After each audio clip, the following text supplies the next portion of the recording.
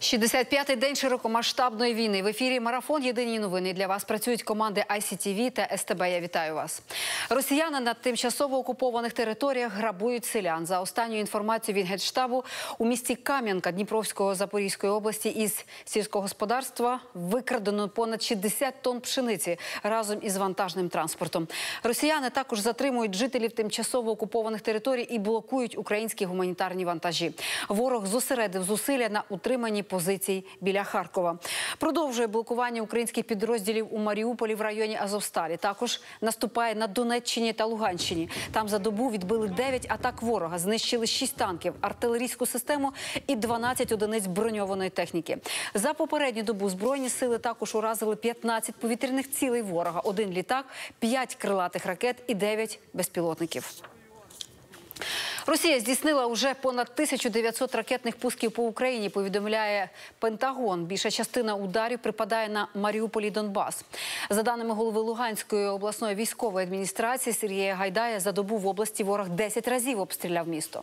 Під вогнем опинилися Сєвєродонецьк, Лисичанськ, Гірське, Привілля, Попасна. Тривають бої за Оріхове. На Донеччині 28 квітня росіяни вбили трьох людей і ще чотирьох поранили. Це інформація від голови обласної військової адміністрації Павла Кириленка. Зранку знову обстріляли з градів Велику Костромку та Мар'їнське на Дніпропетровщині. За словами голови ОВА Валентина Резниченка, минулося на щастя без жертв. Росіяни не припиняють обстрілювати міста у Запорізькій області. Вчора окупанти вдруге за тиждень вдарили ракетами по обласному центру. Внаслідок атаки зруйновані житлові будинки в приватному секторі. Поранені п'ятеро людей, серед них одна дитина. Бог, наверное, есть, потому что здесь все остались живы. Ранения есть, ну, не смертельно. Над крышей, получается, летела от болванка, вот эта ракета эта. Вот над вот этой крышей летела. И тут сразу взрыв такой был. То есть вы сам момент полета даже видели? Ну, Ну да. многие видели. П'ятеро загиблих та одинадцятеро поранених внаслідок обстрілів Харківщини за минулу добу. В передмісті Харкова Покотилівці, яку досі вважали тихим районом, і куди містяни тікали з обстрілюваної щоденно Салтівки, тепер пошкоджено за три десятки будинків і школа. В самому Харкові під ударами знову Салтівські багатоповерхівки і приватний сектор. Там внаслідок одного лише обстрілу загинула 55-річна жінка, її чоловік і ще одна людина поранені. Репортаж із Салтівки Марії Малевської. А ось, бачите, тут лунки від снарядів. У траві біля висоток кілька вирв, невеликих за салтівськими мірками, але знову з жертвами серед місцевих мешканців. Шли мужчина и женщина с магазина где-то. Был взрыв, и женщину убила, а мужчину забрала скорая в больницу. Був е, в декількох домівках поруч і чув е, 5-6 вибухів, таких навіть потужних, і навіть під час того, як е, померлу людину забирала швидка, також був вибух, і ми пряталися у сусідньому будинку у під'їзді. Наймовірніше, це був мінометний обстріл. Він тривав за підрахунками місцевих близько 15 хвилин. У вирвах можна знайти шрапнель. Її використовують для більшого ураження живої сили. Свист был перед этим. Перед этим, но это летело в другие стороны. А, а, а тут ничего не было слышно, просто сразу, сразу конкретный грохот и все. Земля під висоткою усіяна склом. У людей вибило вікна та рознесло балкони по обидва боки будинку. Влучило прямісінько у карніз над входом до під'їзду. і видно ж волною, і я була тут. От. Якщо б на шах, мабуть, у мене попало, а так мене у стіну так звалило, і ото стекло розбите. По цих приватних будинках поруч із висотками прилітає вже вдруге. Цього разу від обстрілу загорілася одна з хат. Люди звідси виїхали вже давно, як і більшість мешканців Салтівки. Тепер отут оце. Он ямка, дивись де. Ото яма, це ж ми ж вже повиносили. Тут стільки віток пообриваних було. 84-річна пані Люба показує свіжі вирви в городі. Каже, за кілька хвилин до обстрілу саме рвала бур'яни. дрожал дом, м, взрывалось все, летели стекла. Э, Когда после обстрела мы вышли, я вообще не могла прийти в себя. Кругом были стекла. Было очень-очень страшно. Ви питали, спрятатися там? За даними харківської поліції, на Харківщині від російських обстрілів уже загинули 606 мирних мешканців, 26 з них діти. Скільки жертв на окупованих територіях ніхто не знає. Російські загарбники захопили понад 20 громад регіону. Одразу на кількох напрямках нині точаться запеклі бої. Марія Малевська, Олександр Бринза та Ігор Тамбіїв. Програма Вікна СТБ. Єдині новини. Після вчорашнього ракетного удару по Києву стало відомо про одну загиблу людину. Тіло сьогодні під завалами виявили рятувальники. Ще четверо людей зараз в лікарні. Загалом маємо 10 потерпілих. Ворог ударив по столиці напередодні ввечері. Дві ракети влучили по Шевченківському району. У житловому будинку зайнялася пожежа. Нижні поверхи зруйновані. Людей з під завалів діставали рятувальники і тероборонці. Тут уже валялися люди під завалами. Повитягували людей, поналажували жгути, передали їх в скору. Там хлопець з відірваною ногою, так, да? Де сокол? Ось хлопець, який налажував жгут. Зараз комунальники розчищають дорогу поруч із будинком і на місце обстрілу прибув мер Києва. Ще також е, символічно в цей момент е, генеральний секретар е, Організації Об'єднаних Націй знаходиться в місті Києві. Це йому привіт, так званий привіт. Середній палець пан Путін показав. За даними КМДА, впродовж двох місяців повномасштабного російського вторгнення в столиці загинули більше ста людей. Понад 400 мирних жителів зазнали поранень. А ось іще одна страшна цифра. Від початку повномасштабної війни в Україні загинули 219 дітей. І ще майже чотири сотні мають поранення різної складності. Про це повідомили в офісі генпрокурорки. Найбільше постраждалих дітей на Донеччині – 139, Київщині – 115 і Харківщині – 95. Палата представників Конгресу Сполучених Штатів ухвалила законопроект про ленд-ліз для України. Його підтримали 417 голосів, проти виступили десятеро. Тепер документ має підписати Джо Байден. З ухваленням цього закону американський президент отримує розширення повноваження для передачі або видачі в оренду чи у борг Україні оборонних засобів. Це значно прискорить постачання нашій країні озброєння, транспорту, продовольства і допомоги зі Сполучених Штатів. Політика ленд-лізу свого часу суттєво змінила хід історії в Другій світовій війні і стала вирішальним фактором, який допоміг союзникам здобути перемогу над нацистами. Окрім цього, Джо Байден попросив Конгрес виділити Україні рекордні 33 мільярди доларів допомоги. Гроші розподілять на військові, безпекові та гуманітарні потреби, а ще на підтримку української економіки. Наше завдання сьогодні залишитись такими ж, як і був оригінальний ленд-ліз. не робити помилок. Росія вторглася із заявленою метою покласти край свободі та самоврядуванню в Україні. Нині з неймовірною мужністю українці віддають життя заради демократії, і не лише для своєї держави, а й для багатьох світових демократій. Це про свободу проти диктатури. Українці воюють за всіх нас. Ми маємо їм допомогти. versus dictatorship.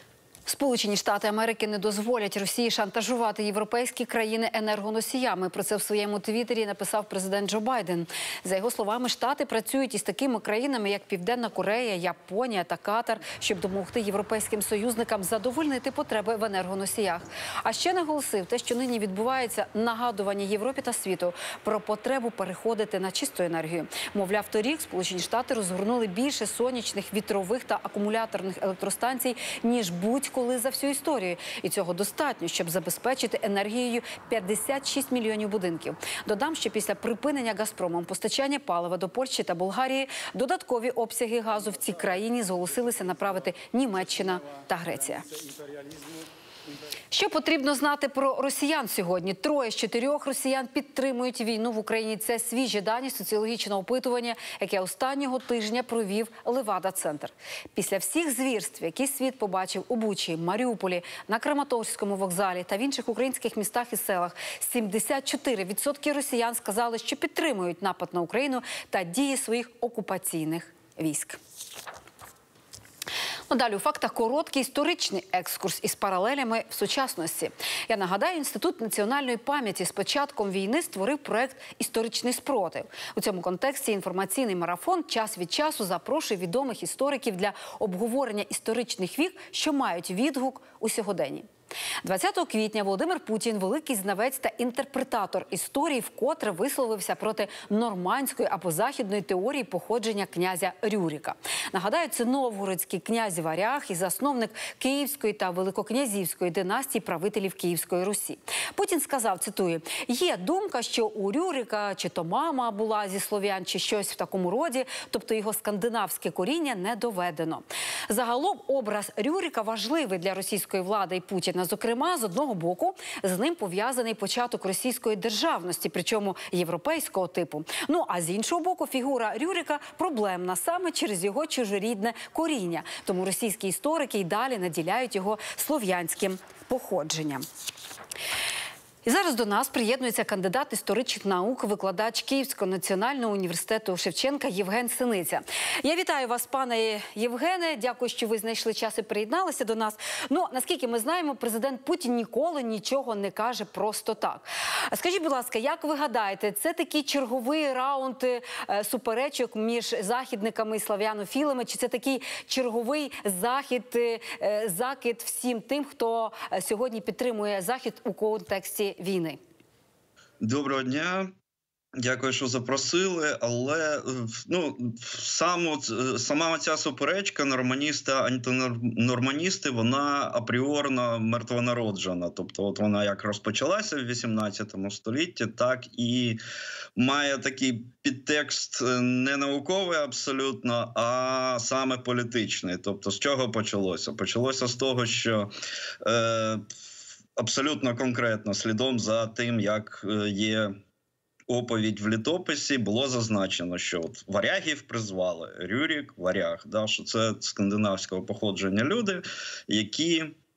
Прийшли в східну Європу і мають відношення до встановлення тут державності, і на це обурилися патріоти в лапках, власне кажучи. Тобто вони вирішили, що це ганебно. При тому, що це абсолютно нормальне явище для раннього середньовіччя, ну тобто варязькі династії, нормандські в багатьох країнах, е, і ну немає проблеми, скажімо так.